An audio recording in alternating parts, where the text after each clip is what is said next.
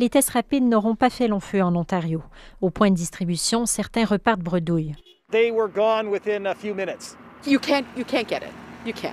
La veille, d'autres ont attendu jusqu'à 6 heures pour obtenir une trousse. Some people have been in line for six hours. Les succursales de la LCBO qui participaient à cet effort de distribution ont d'ailleurs écoulé leur stock en moins d'une journée. It is far more chaotic than I expected. people in Ontario have already gone through a version of the Hunger Games when it came to vaccines.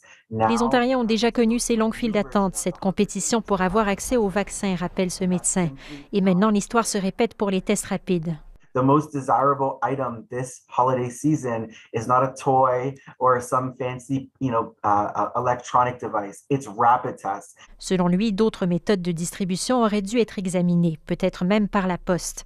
Il s'agit aussi, dit-il, d'assurer un accès équitable, en priorisant des régions ou quartiers qui ont des taux élevés d'infection et où vivent des populations vulnérables, comme des travailleurs essentiels. people in this community are working multiple jobs. They're taking transit to go back and forth to work. So they're at risk. You know? Dans notre communauté de et Finch à Toronto, beaucoup de gens sont à risque, dit cette intervenante en santé. Or, il n'y a pas de point d'accès près de chez eux. Folks are coming to us, to our health center, and asking if we have them. We don't currently have them, unfortunately. Elle croit que le milieu communautaire, les centres de santé auraient dû être davantage mis à contribution dans cette stratégie.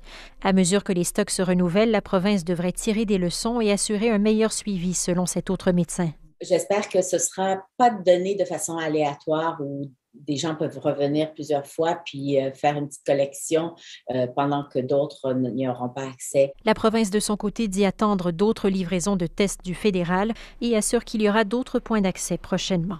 Ici Camille Grégoire, Radio-Canada, Toronto.